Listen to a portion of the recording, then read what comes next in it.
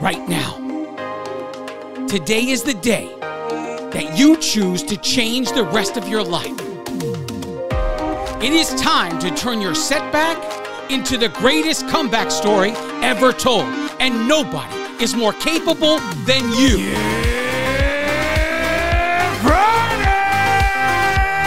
This is the Ranting Weight Watcher podcast, the future number one weight loss podcast in the world. I am your host, Donato Russo. I hope you enjoy the show today. If this is your first time here and you enjoy the show, please subscribe and spread the word of the Ranting Weight Watcher podcast wherever you are and to whomever will listen. If you'd like to connect on social media or wherever else, check out my Linktree page, Linktree forward slash the Ranting Weight Watcher. Let's connect today. Hello, everyone. Welcome to episode 163 of the Ranting Weight Watcher podcast. If this is your first time here, welcome to the show. If you enjoy it, please consider subscribing. And if the app you're using to listen to me allows you to rate the show, please leave a four star or five star rating. If it also allows you to leave feedback about the show, please consider leaving feedback if this show has helped you in any way. What happens when you do this for me is when someone else is searching weight loss related podcast on that same app, my show will show up higher on the list because of the ratings, because of the, the amount of feedback received. So, you guys doing that will support the show to get exposure on it. Most of all, if you enjoy this show and you know that there are other people in your life that will benefit from this same message, tell them. Tell them about the show. The same way you would tell them about the great Italian restaurant you ate at, tell them about the show in the same way. Because you know what? Nobody sends people faster to a restaurant than the people that I've already eaten there. And that's the same thing you would do for me. If I tell you this is a great show, I just sound like a businessman. But if you tell someone this is a great show, they may listen. So, if you enjoy it, if I've helped you in any way, please consider helping the podcast by spreading the word of the Ranting Weight Watcher. Well, let's not waste time. Let's get into this! Journey updates. I am up this week 9.4 pounds. For the month of October, it is a total of 5.4 pound gain. Total loss since January 2019 is 163.6 pounds. Total pounds remaining to get to the 175 pound milestone is 11.4 pounds. Total pounds remaining to get to the 200 pound milestone is 36.4 pounds.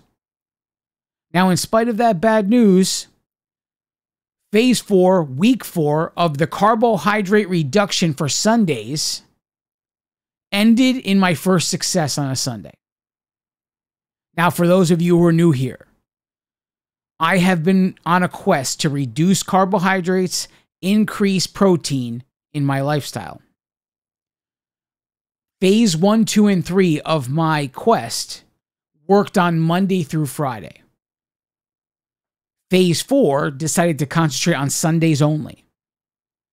So, week four, phase four, was my first successful Sunday. My goal was to be at 2,300 calories for the day. I was at 2276 this Sunday. My goal for protein was to have 229 grams taken. Sunday intake was 203 grams. My goal for carbohydrates is to get down to 175 eventually.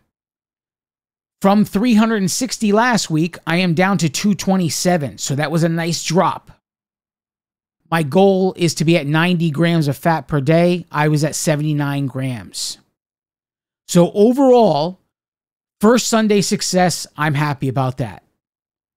Now, for Monday through Friday, there was one day that I did I went above the cal- caloric intake. All the rest of the days were uh, right where I want to be. Week 28, caloric average intake was 2,311 calories. Week 28 protein intake was 237 grams. Week 28 carbohydrate intake was 193 grams. See, that's when I went over. I wanted to be at 175. And week 28 fat average is 73 grams. And for that, I'm under, I want to be at 90 grams. Overall, Monday through Friday is looking good. And I'm so happy to say that I have my first successful Sunday. We're going to keep it going, full steam ahead. The gain is number one of three. If you're new here, I don't make any moves unless I have three gains in a row. Three gains means there's a trend. And if there's a trend, that means there's a change in behavior. So then you go into analysis mode, you figure out what has changed. You make some changes and you move forward. But I never make any changes, regardless of the size of the gain, if it's not three gains in a row. So I want to talk to you today about scale surprises. I'm going to go back to the beginning of my journey here. So back in 2019, when I first started, weigh in day dictated the entire weekend. So if I got on the scale and it was a good result, it was going to be a good weekend if I got on the scale and it was a bad result, or if it was no result, it was going to be a bad weekend. I was overly emotional about everything regarding the scale. I would literally go crazy for hours and waste hours and hours of the weekend trying to figure out what I did wrong and what changes to make.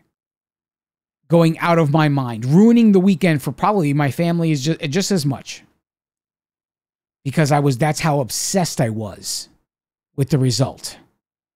When I look back at that version of myself now, I often refer to that version of myself as the immature me.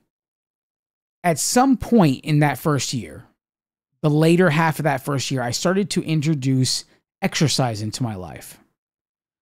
And because I took such a systematic approach with how I started to implement exercise, I started to realize that being consistent with exercise was more important than being perfect with exercise. In this point in my journey, I was starting to connect dots and saying, wait a minute, it's not about being perfect, it's about being consistent. You could be imperfect the entire time, but as long as you're consistent with whatever you're doing, it's going to benefit you in the long run. And literally, the accuracy of what you're doing can always be adjusted once you achieve it. So then I thought, if this was possible to implement consistency like this in regards to exercise, it was also possible to implement this same kind of consistency in regards to how I handle food in my life the quest became consistency as a whole with eating choices. So, whatever food I would choose to eat, how I would track it, how I would weigh and measure it, and my exercise. All of those things, the quest became achieve consistency in all of those things. And as I chased it, as I became more and more consistent with my behavior, something miraculous happened. I never expected this to come out of it. If you would ask me to go back to the first day I started to implement exercise, and even the first day that I realized consistency was more important, I would never have guessed that this would have happened. And this is why I'm telling you all this. Once I was so confident in my work that I put in every day, what were my goals every day? My goals were to track everything I ate, to weigh and measure everything I ate, and to exercise on the days I was supposed to exercise. Those were all the goals. And it didn't have to be perfect, it had to be 97% because my accuracy can always be adjusted. So as long as I was at 97% with my food choices, with the weighing and measuring of that food, and with my exercise, I was happy with my journey. Now, in this process, once I became consistent in every single aspect I just laid out for you, all of the sudden I realized something. The same way in 2019 that the scale fluctuated six, seven, eight pounds, whatever it was, and I would freak out. Even after achieving all that consistency, I still had huge weight fluctuations. So at this moment, it's just like, huh, you mean to tell me that even after achieving all of this consistent work, I'm still going to have days like this? It was like in The Wizard of Oz when they see the wizard, you know, how it's all working. It was like the shattering of the, you know, like when the magician tells you how the secret of the trick is. Now it's not a big deal anymore. That's exactly the kind, that's the only way I could describe what happened to me that day. When suddenly I had such confidence in the work I was doing, and still there was huge scale fluctuations. It was like the shattering of the glass, like the magician showed himself. And it was like, come on, man. And I would just walk away. All of the power that the scale had before that day was broken. And all of my value became did you do the work this week? What did you do? Did you track every day this week? Yes. Did you weigh and measure every day this week? Yes. Did you exercise five days of this week? Yes. Boxes are checked. Oh, there's still a gain? Okay. At some point in, in all of this, I even created consistency in making changes to combat all of the emotional stuff that I went through somewhere along the line, I made a system that I would not make any changes to what I did. And part of this was because I was so confident in what I did. I would never make a change in what how I was eating or how I was exercising unless there were three gains in a row. Because three gains in a row tells me a trend. Then I need to analyze what I'm doing, make a change, and move forward.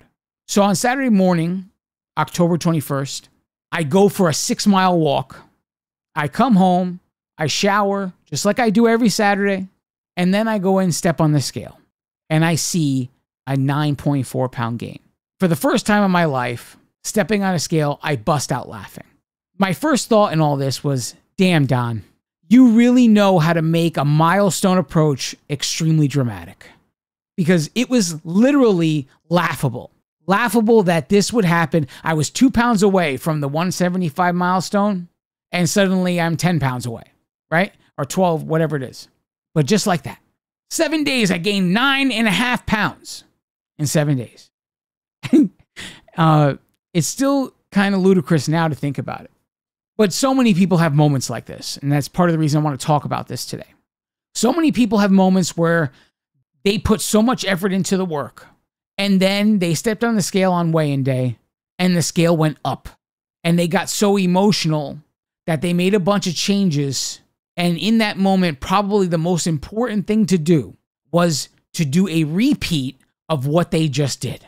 That would kind of that could probably be the most important thing you could possibly do. And yet you're looking at the current result.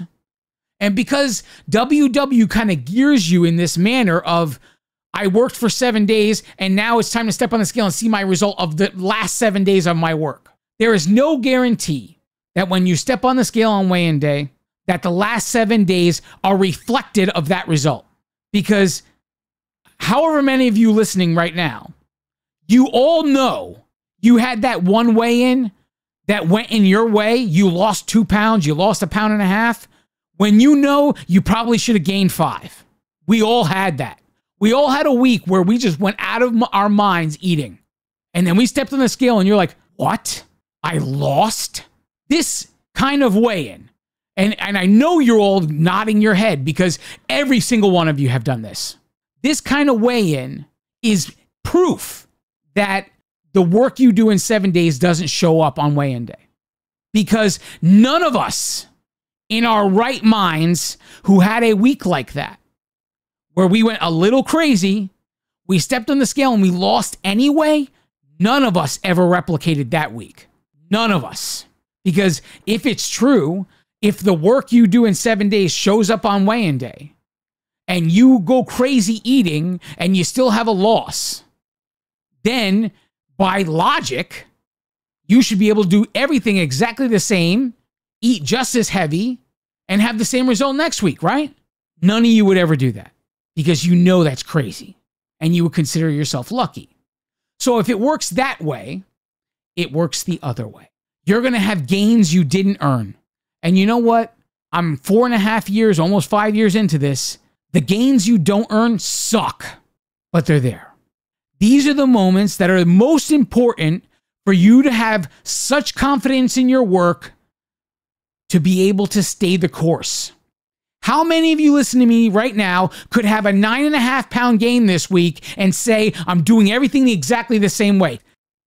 To have such confidence in what you do, to be able to look at that gain, stare it in the face, laugh, and say, I'm doing it all again the exact same way. That's what I want you to create. I want you to create so much confidence in your work that you're going to step on a scale and see some kind of gain like that one day, and you're going to laugh at it the way I did on Saturday because you know it's freaking nuts to see that kind of gain. That's what I want for you guys. Now, why am I telling you all this? Why am I harping on weigh in day so much? Because the season is coming for gaining. It's October 23rd. Tis the season for gains. Okay? We got holidays approaching. The first holiday in the list is Halloween. The first thing I'm going to say about these holidays is that they are just each one day, right? Each holiday is one day, but we turn it into a three month thing.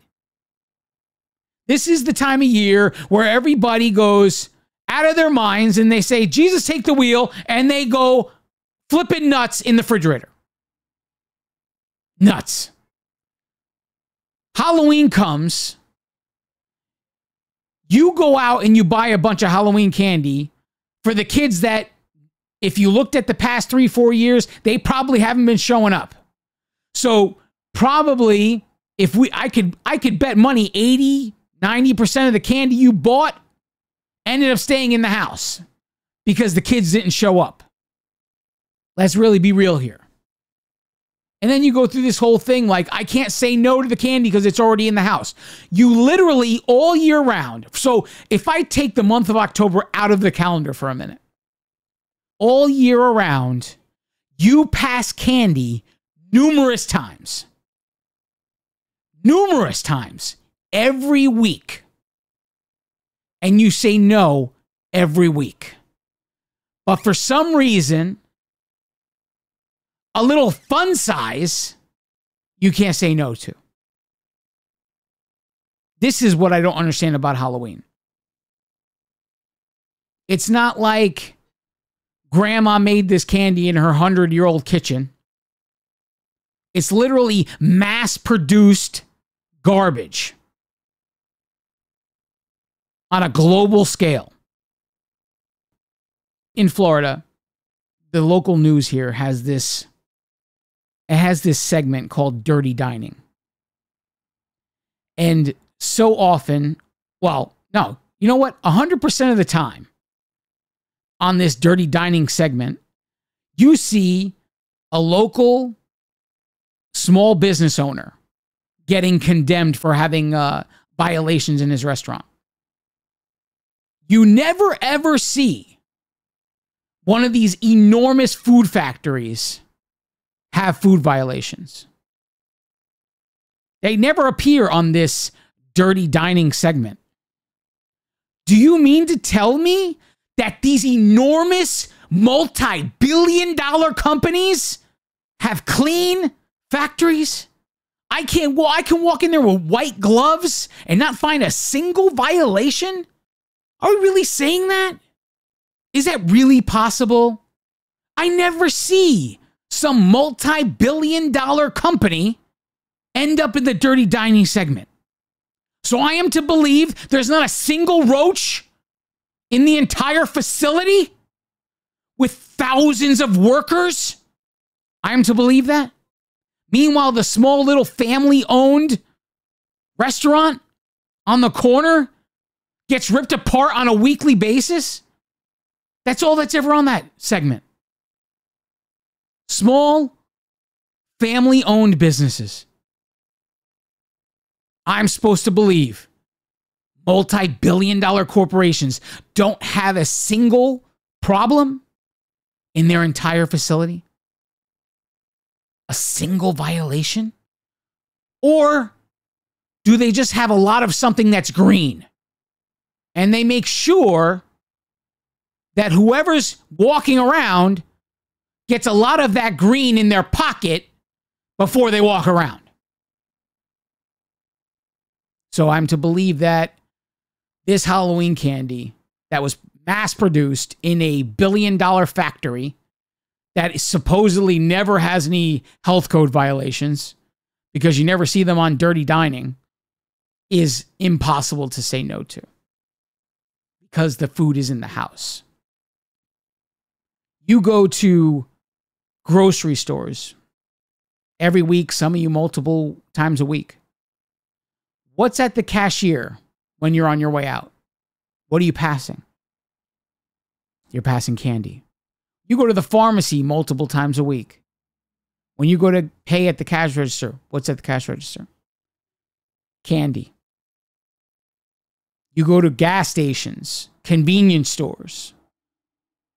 What do you find in every single one of these places? Target, Walmart, name them all. You go to them numerous times a week and you walk right by candy. What the same money that paid for the candy for so the is it the excuse that you get to buy candy for kids that may or may not show up? Is that the idea? Because you have the excuse, oh, it's for the kids. We're going to take a break. Don't go anywhere. I now present to you the Ranting Weight Watcher Accountability Creed. If you choose this day to say this creed, you are accountable to me, the author.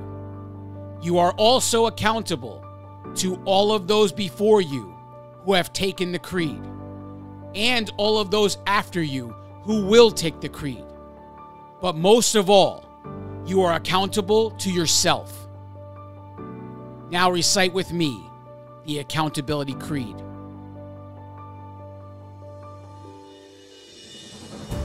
Nothing can stand in my way because I choose to be unstoppable.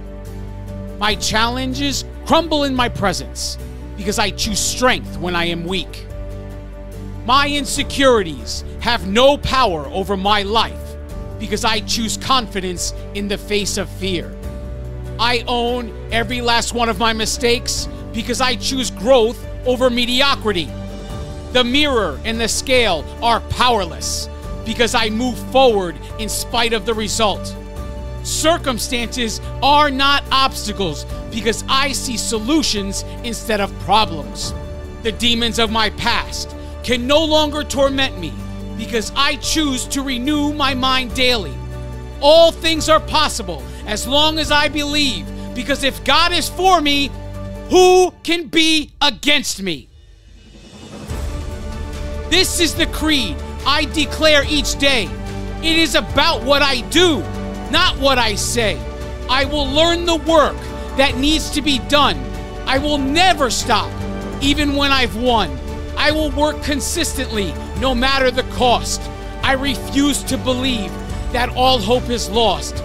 I will work when I want to. I will work when I don't. I will work when they are cheering. I will work when they won't. I will work when it's easy. I will work when it's hard. The atonements that I've made are made with no regard. I will work when it's cold. I will work when it's hot. Because choices have consequences, justified or not. When I think I know it all, I will start back at one. Because regardless of what I think, the work is never done.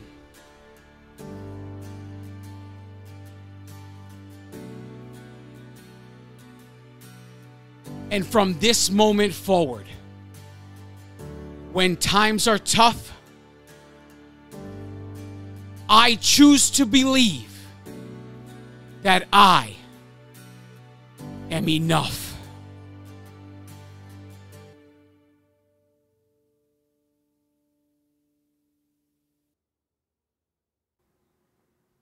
And we are back. Thanks for sticking with me. We have all these holidays approaching. Thanksgiving comes right after that. Now, Thanksgiving is one day. But our problem, and you know what? Thanksgiving food is not even all that bad. There are some of them that's bad. But for the most part, someone on Weight Watchers can do Thanksgiving with their eyes closed. I mean, I do a miniature Thanksgiving every Wednesday night. My wife makes a turkey breast every Wednesday night, and I have a half a cup of stuffing and some veggies and the turkey with some brown gravy every Wednesday night. It is extremely possible to pull off Thanksgiving as long as it remains on Thanksgiving. When you're eating the leftovers for a week and a half after Thanksgiving, that's when Thanksgiving becomes a problem. Now you got Hanukkah.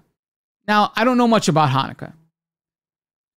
I don't know if you eat like a, a big feast every night of Hanukkah or if it's just one of the nights that you eat the big feast. I'm not sure.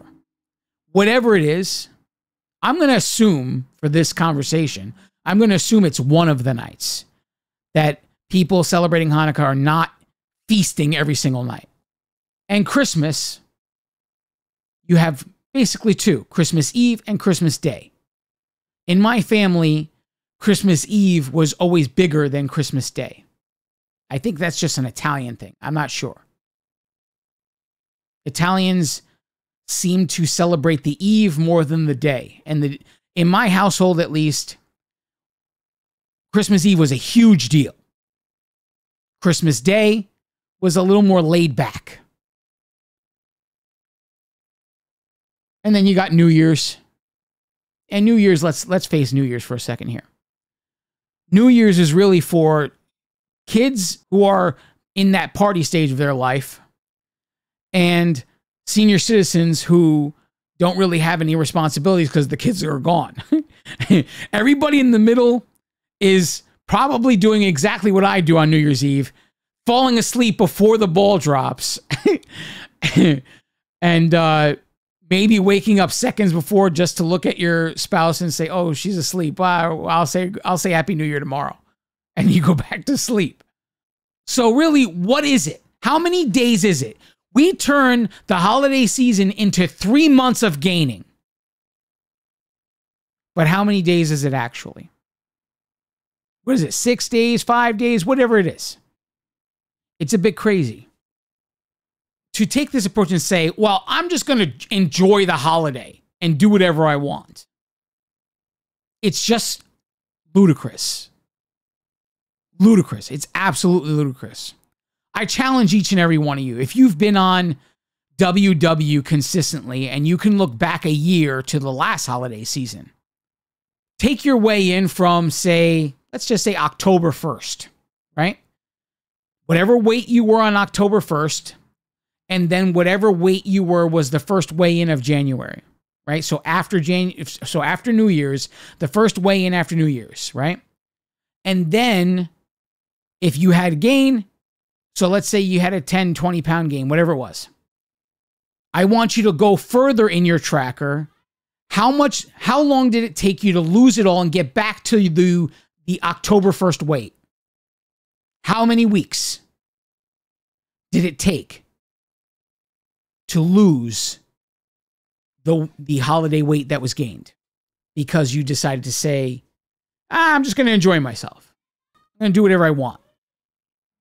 And then ask yourself, was it really worth it to say I'm going to enjoy the holidays?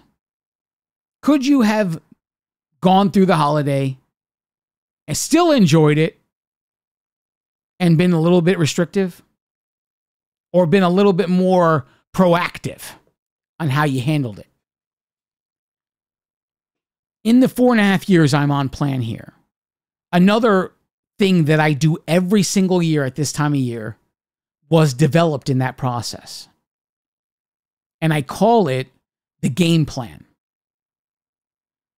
I implement the game plan every holiday season. And every year, I enable you guys to do the same. Every year, at some point before the holiday season starts, I talk about the game plan every single time.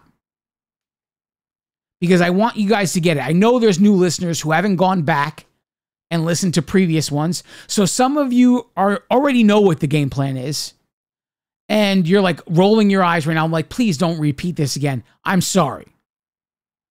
But I have to repeat it for the new people. This is the game plan. And what the game plan is designed to do, it's not designed to ensure you lose weight over the holiday season. So if that's what you're thinking, get it out of your head.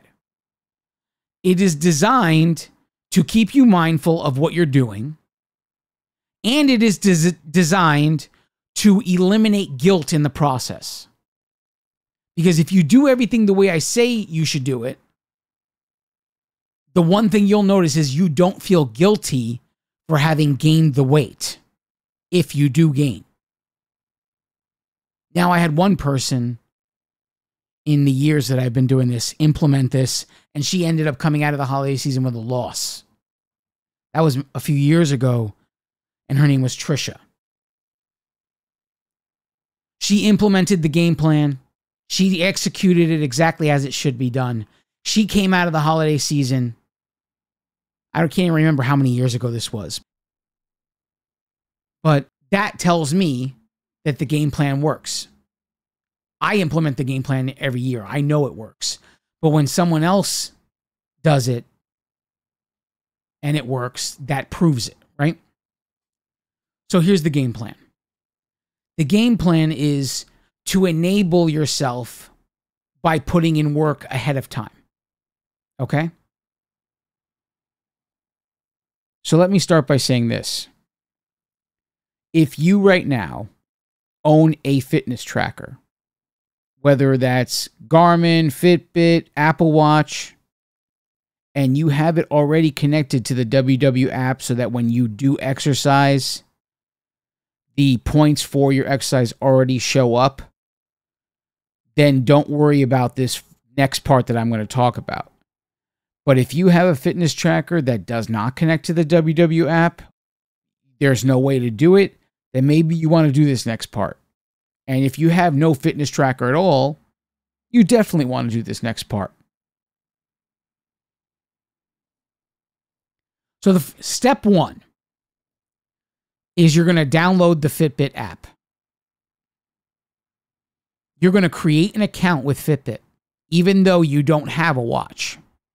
When it gets to the point to ask you what kind of watch you have, you're going to scroll down all the way to the bottom of that list and you're going to see it says, use my phone as a tracker. You're going to select that option. Once you finish the whole setup, you're ready to go. Your second step is you're going to connect the WW app to your Fitbit account. I haven't done this in a long time, but I'm sure that WW can help you connect the two to each other. And what that means is WW is going to receive your activity data from the Fitbit app that you put in. Okay, so that's step two. Now, step three is going to be pre tracking. As we get up to Thanksgiving, I want you to plan Thanksgiving ahead of time.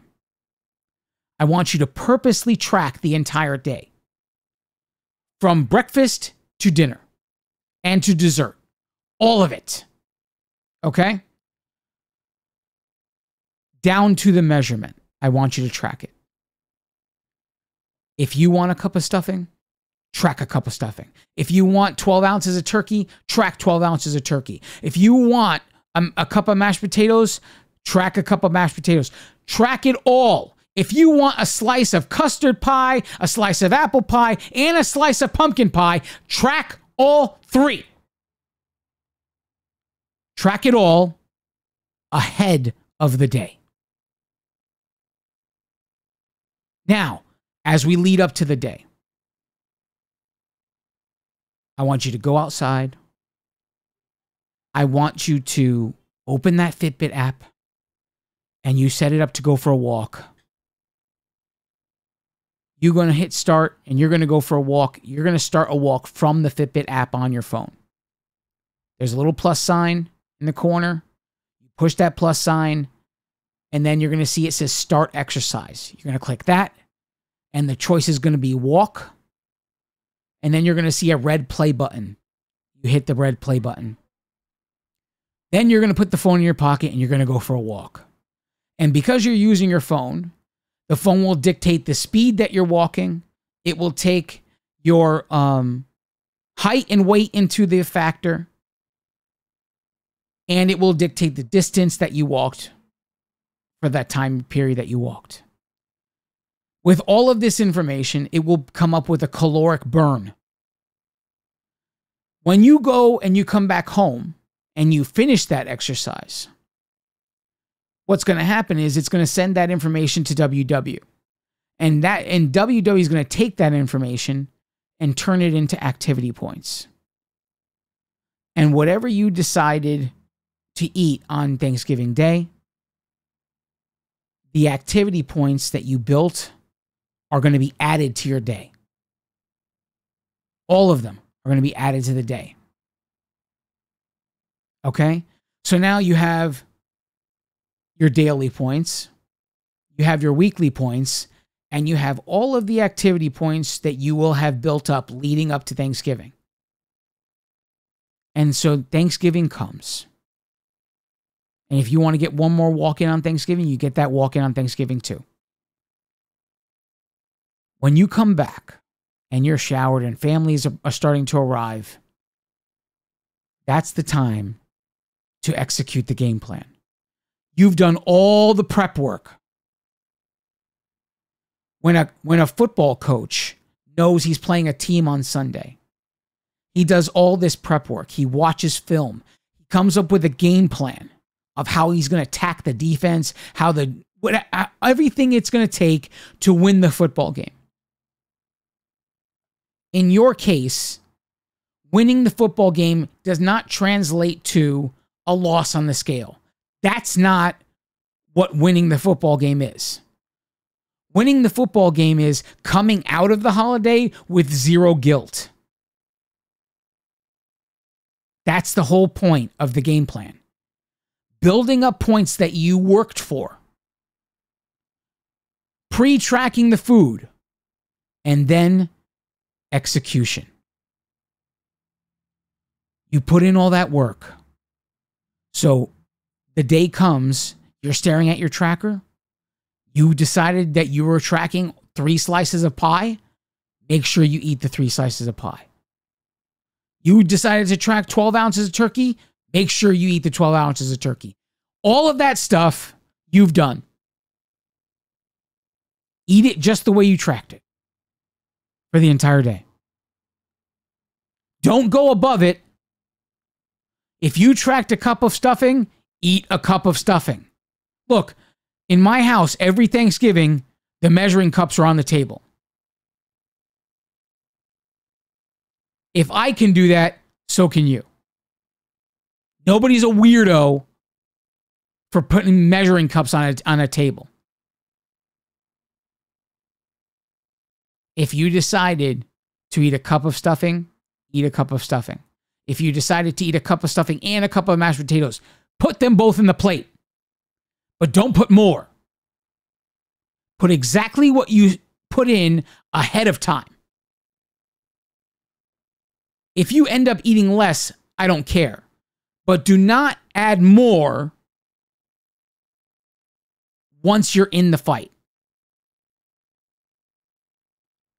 Whatever you put ahead of time is what you execute. If you do all of that, if you go for your exercise walks, you build up activity points, you pre track all of the food down to the measurement, and you execute all of the food you pre tracked down to the same measurement, it won't matter that you went over your points. It won't matter that you feel overstuffed. It won't matter for all of those things because you essentially will have done exactly what you said you were going to do. You see, I'm always telling you guys the key is to do what you say you're going to do. I'm literally telling you guys that all the time. Just do what you said you're going to do, and your life will change. That's exactly what I'm having you do for the holidays. The game plan has been used for every single occasion, whether it's a holiday, whether it's a family obligation, no matter what it is. The game plan has always been in place for any one of those things. And the design of the game plan has always been and has and always will be do what you said you were going to do and eliminate the guilt in the process. See, like, that's why I say whatever you track ahead of time is what you go in for. Because if you go above that, it will feel like you failed. Right? So if you want to err on the high side, you track a bunch of high stuff, but then you end up eating less, it will feel better than if you track it a bunch of low stuff and you eat more. Okay? This is not about you coming out of Thanksgiving with less weight. This is about you coming out of Thanksgiving with zero guilt. That's what it's about. That's what the game plan is for. Because the guilt you feel after the holiday is more damaging than the holiday is itself. Even though the scale might still go up, the fact that you executed the plan exactly as you pre planned, it eliminates the guilt.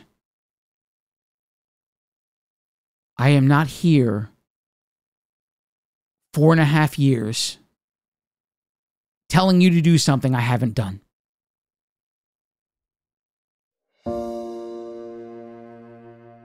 You see, the whole idea when people say, oh, just be mindful of your choices. It's complete bullshit. Because even when you're sitting at the table on Thanksgiving, even the stuff that's the healthiest stuff on the table, on Thanksgiving, it's cooked in a way that it might as well be as unhealthy as the worst stuff on the table. So, this idea of being mindful, it's nonsense. What I'm asking you to do is simple. I'm asking you to pre plan basically going over your points down to a measurement. I'm asking you to put in some work ahead of the holiday, and then I'm asking you to execute exactly what you planned before the holiday ended up there. When you're making your decisions before the day, you're not making your decisions when the food is staring you in the face, it will feel like a win. You will come out of this with zero guilt because you know what? These holidays that we go through every single year, the holiday isn't the problem. It's the guilt we feel for what we did on the holiday that causes more damage than the holiday itself. So I basically taught you a method of going over your points on a holiday and coming out of it with zero guilt. That's what being mindful is. It's not staring at string beans and staring at mashed potatoes and choosing the string beans. Because you know what? There's three sticks of butter in those string beans, too. It doesn't matter that they're string beans. It doesn't matter that they're mashed potatoes. It doesn't matter that everything's covered in brown gravy. It does not matter. What matters is that you tracked it ahead of time when you were of conscious mind and you could be mindful. Before you could see the food, before it was a battle, you decided. Now all you gotta do is execute what you already decided. And when you do that, you will come out of the fight guilt free.